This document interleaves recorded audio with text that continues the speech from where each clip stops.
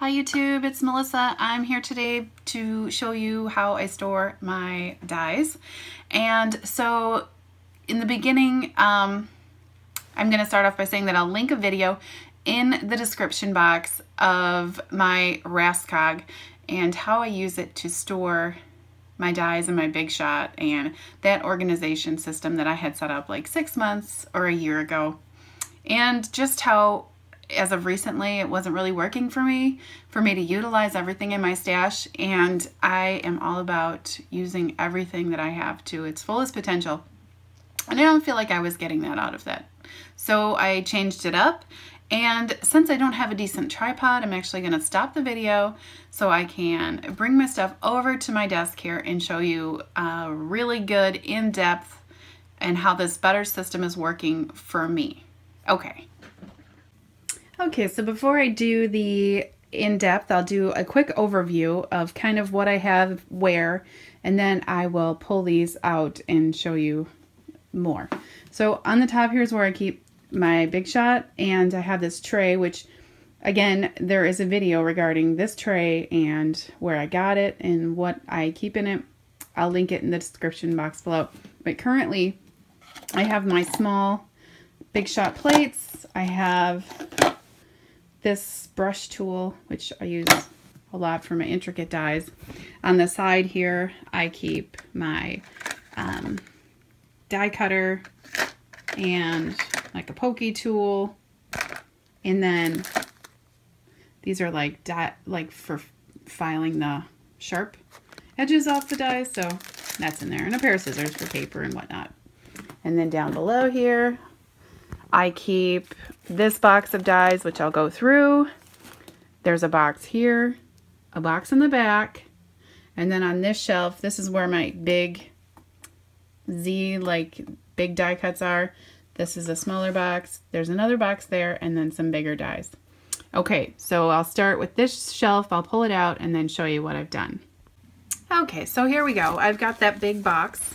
This box is just from Target. It's one of the like fabric sturdy box though, but it's got a nice handle so I can pull it out from my Raskog tray. Um, I went ahead uh, when I made this system and took some cardboard and just my typewriter and did, this is a die from Tim Holtz and just did uh, some labels. Now standalone is dies that uh, could just cut as is, like there's some Project Life in here. These are all Ziploc bags that I've purchased from Hobby Lobby. I've bought the magnetic sheets and glued them onto cardboard. The magnetic sheets are from Home Depot. They're the vent covers. And then just used um, labels. So, like these Project Life dies. And then you go into, this one says shapes, and that would be like circles, squares, all kinds of those types of elements. Tags, excuse me, is the next one. And there's not very many of those, but you know, for sure. You guys have seen these if you've watched any of my videos. So then I have edgelets next. And edgelets are dies such as these, like the Lawn Fawn Hillsides, my Cloud edgelets, those types of things. Mama Elephant. The edgelet words would be next. And those are dies that look like this. And then next, this section is where I've made the most changes. So this is actually words. And I used to keep words separated, but decided I'm a very thematic person. That's how my brain works. I work um, the best and most creatively according to theme when I'm filing things and whatnot. If you've ever seen how I store stuff, it's all according to what it is, not color, um, but like travel and school and that type of stuff. So you'll see that ex is exactly how I decided to conform this system for me.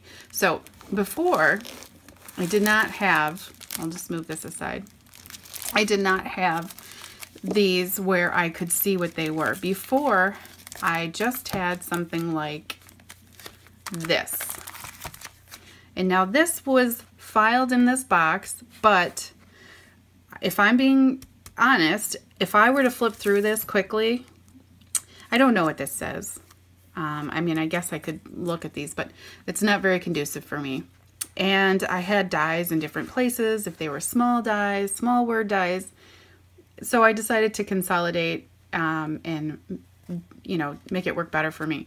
So I went and cut each of these word dies and glued them onto the backing sheet of this. So now when I'm flipping through, not only can I read the words very easily, but I know exactly what's on this panel in this bag.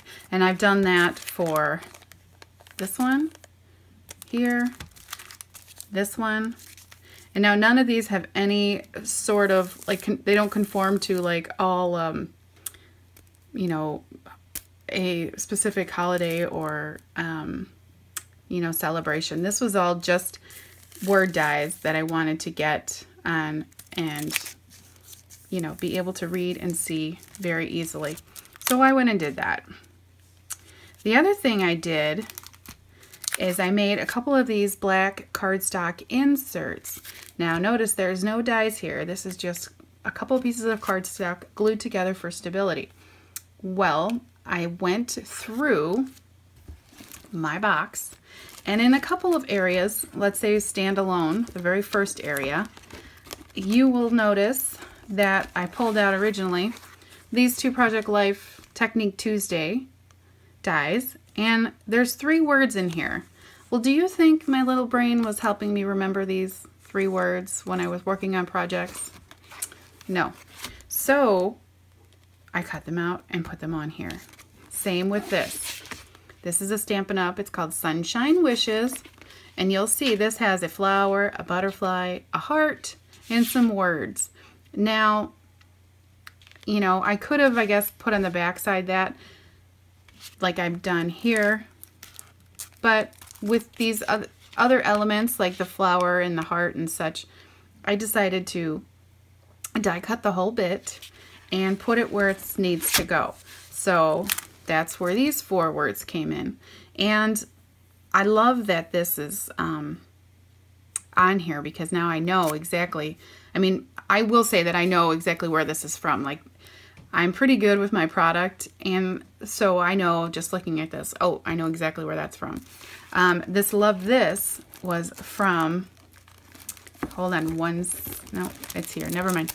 I was to have you hold on for a second. So in my standalone, this Crate Paper open book from Maggie Holmes, it has some frames, it has a ticket, it has a deer head, and some words. So I went ahead, cut the words, and added them to this.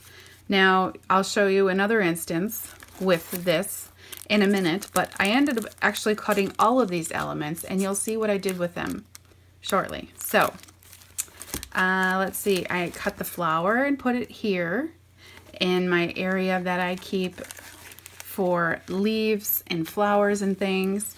Uh, I, excuse me, I have a section just for that. And so that's in here and let's see. Well, and then I have um, this one, which was from Novi that I just purchased. But I went ahead and, because looking at it just like this, we might not know what all these words are supposed to say. So I went ahead and cut it out. I backed it with the outline. And yeah, so, so that's this box. And there's background stamps here in the back, which are like those. And so, excuse me, I'm going to go ahead and show you now. I have alphabet dies in this box as well. Um, what I was talking about when I had separated dies like this instance. This is just a piece, a couple pieces of cardstock glued together with my die cut glued on there. So my next box is for smaller dies. Now this box I went ahead and made labels for as well, but this box I have more thematic because if I want to look for travel, village, or arrows, because arrows and village scenes all signify travel for me. Um, but I also made a note on here not to forget that in my big Z die elements, I have these to choose from. So now I'll show you that in a second. But so I have the smaller bags here with the elements in here, which I love. So, and then the next one is food and drink, and that can consist of everything from coffee. And I love this coffee word here just because, you know, it's the one word. I don't have any other. To barbecue grill, to the beer mug, to cocoa. And then my labels and frames. So from that Maggie Holmes open book, I went ahead and cut this, glued it onto cardstock, and put it in here. So I remember that I have this because, um, like I mentioned, being tucked away in that spot is not um, somewhere where I'm going to you know, flip through and see it all the time and remember that it's, it's an option for me when I'm trying to audition, you know, elements to use on my pages and my cards and stuff like that. So animals and bugs, So I have my new Pudgy die. And then I went and cut the butterfly from that Stampin' Up set and put it in here so I remember that I have another butterfly element. This is for weather and I have such things as hearts, clouds, rainbows, and rain type things and raindrops and lightning bolts. And then this is miscellaneous elements and those would be things like glasses and the Mama Elephant Dainty Bow. I've got some spellbinders, emoji, smiling faces, some speech bubbles, and hashtags and ampersand and stuff like that. Hearts and stars would be next, and those are anything that, um, you know, I can combine together. This is another element from Stampin' Up! So I cut it, put it on cardstock, and slipped it in here. Um, this is so nice for me to flip through. I even have like a 4th of July this is music, flourish, and holidays. So this is going to have, um, you know, my notes and some pumpkin and St. Patty's Day. And then in the back here, I have the square um, diffusers and the circle diffusers, oval, whatever you want to call them, um, from Tim Holtz. And those are in the back there, okay? So moving on to the next box.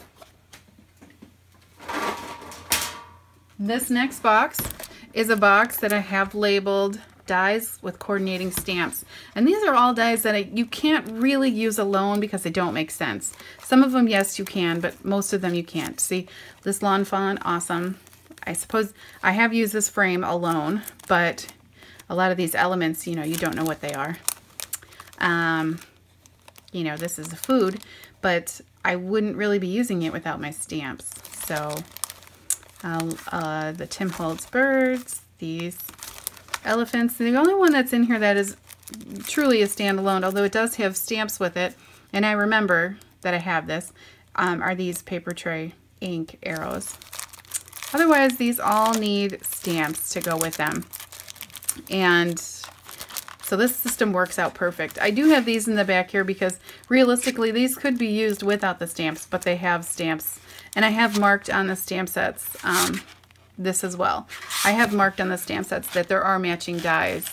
And so I know automatically because that note is on the stamp set that this is where the dies are going to be found. Um, yeah, I have the Clip It Up, which is where I keep a lot of my stamp sets. And so I can't store like these together with my stamp sets because that would be a lot of weight for my Clip It Up. And it really isn't meant to hold that heavy, those heavy things. Okay, so then the bottom shelf, I will pull out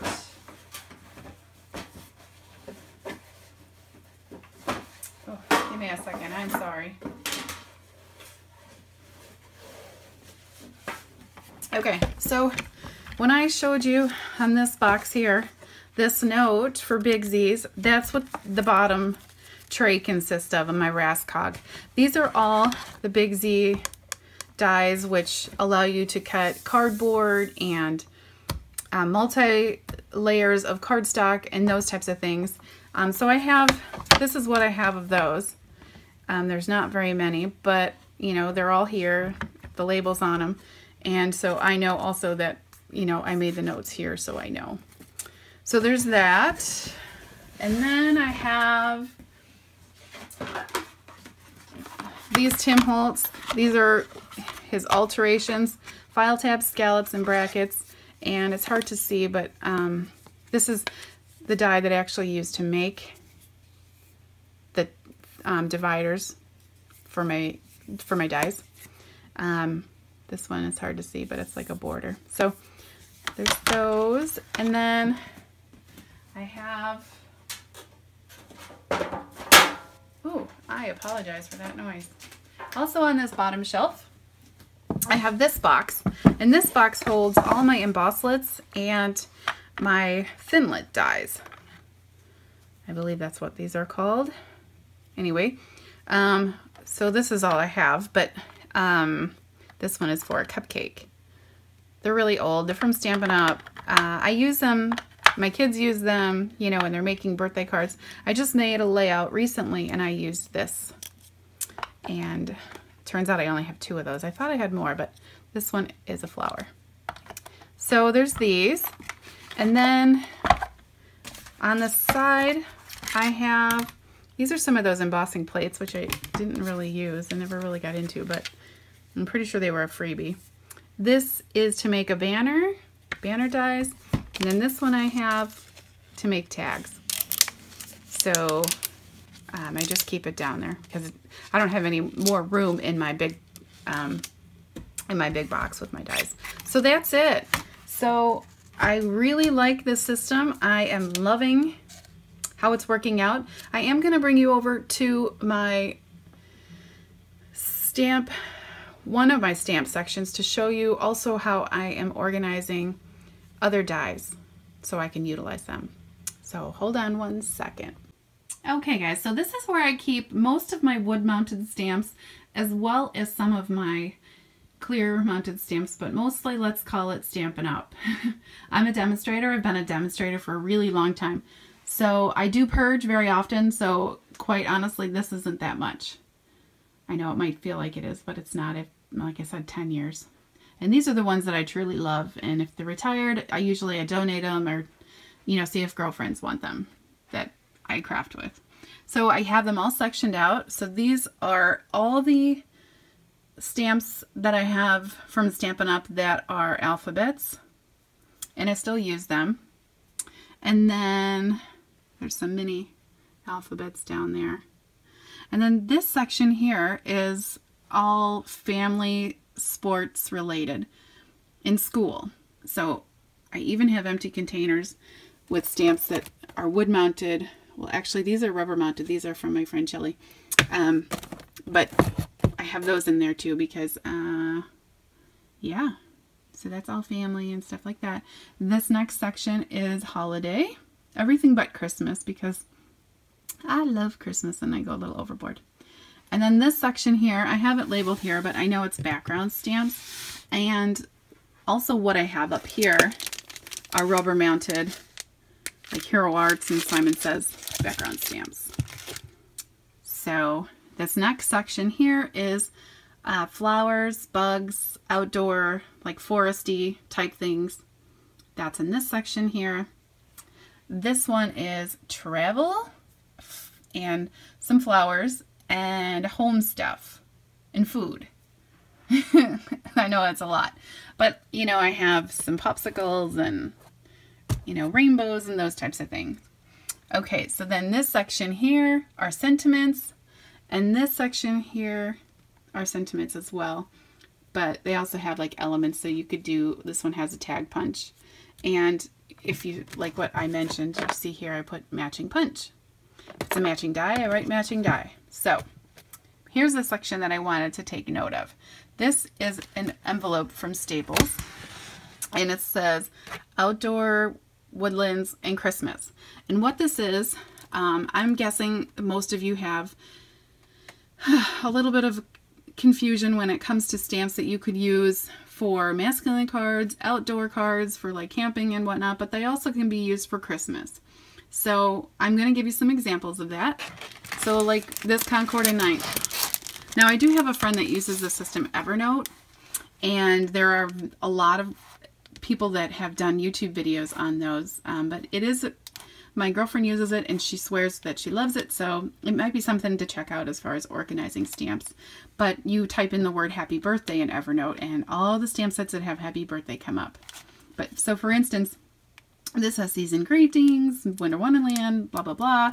But deer, trees, those types of things, and happy birthday. So that is why it's in here. Because I know at Christmas time I will pull this folder and it'll have all the elements that I like to use as Christmas elements as well.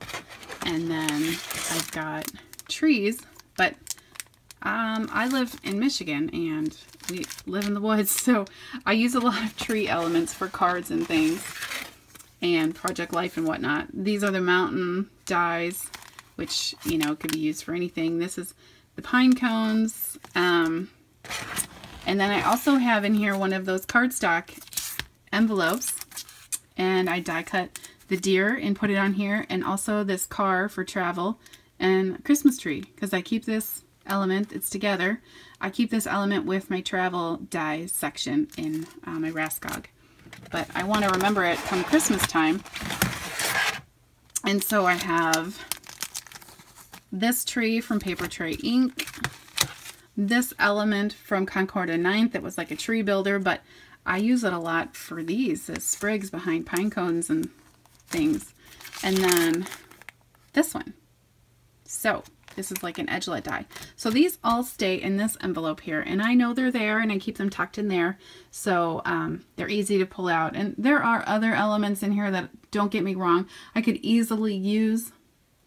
But they're not really multi-purpose. So, all right. So if you have any questions, gosh, let me know. I'll do my best to answer them. I, um, yeah, I don't know. so thank you so much for watching. You can find me on Facebook, Instagram at Cut It Up Creations, and I would love for you to subscribe to my channel. Bye, guys.